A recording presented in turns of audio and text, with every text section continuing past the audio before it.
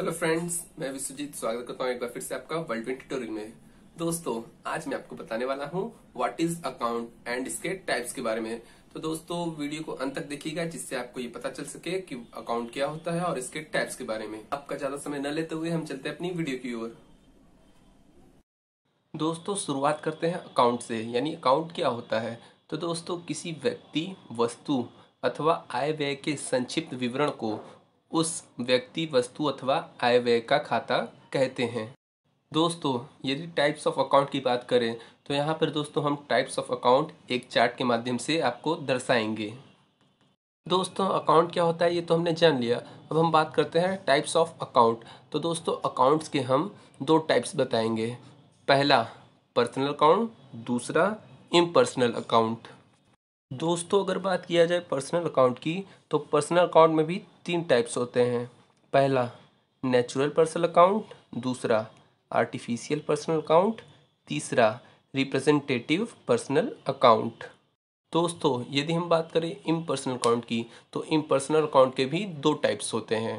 पहला real account दूसरा nominal account दोस्तों, यदि हम बात करें रियल अकाउंट की तो रियल अकाउंट के भी दो टाइप्स होते हैं। पहला टेंजिबल रियल अकाउंट दूसरा इनटेंजिबल रियल अकाउंट दोस्तों, इस चार्ट के माध्यम से हमें अकाउंट्स के टाइप पता चल गए अब इसके क्या क्या एडवांटेज होते हैं, ये हम जानेंगे। पहला जो अकाउंट है, वो है पर्सनल अकाउंट पर्सनल अकाउंट में किसी व्यक्तियों, फर्मों, संस्थाओं अथवा कंपनी के नाम से खोला जाता है। दोस्तों पर्सनल अकाउंट में भी तीन टाइप्स हैं। पहला है नेचुरल पर्सनल अकाउंट दोस्तों नेचुरल पर्सनल अकाउंट में जैसे राम, श्याम, मोहन आदि के खाते खोले जाते हैं।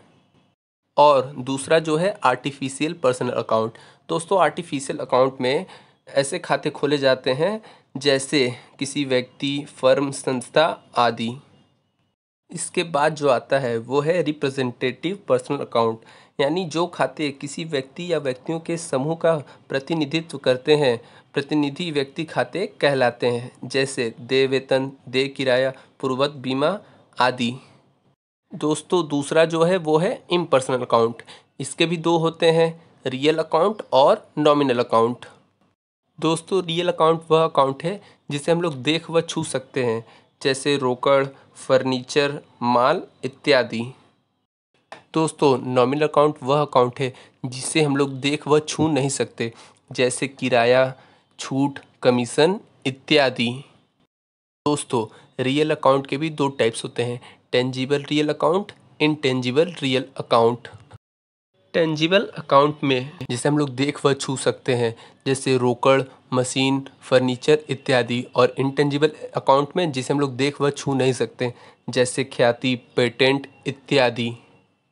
दोस्तों अकाउंट में केवल तीन अकाउंट ही मेनली रूप से चलते हैं, जैसे पर्सनल अकाउंट रियल अकाउंट और नॉमिनल अकाउंट पर्सनल अकाउंट दोस्तों, व्यक्तिगत खाता में किसी व्यक्ति, संस्था कंपनी या कंपनी का खाता व्यक्तिगत खाता कहलाता है.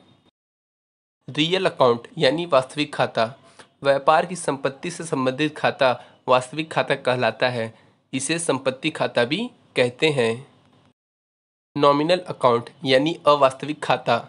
आय व्यय व लाभ हानि से संबंधित खाता अवास्तविक खाता कहलाता है। इसे आय व्यय खाता भी कहते हैं। दोस्तों, आशा करता हूँ आपको इस वीडियो के माध्यम से अकाउंट क्या होता है और इसके कौन कौन से टाइप हैं, ये पता चल गया होगा।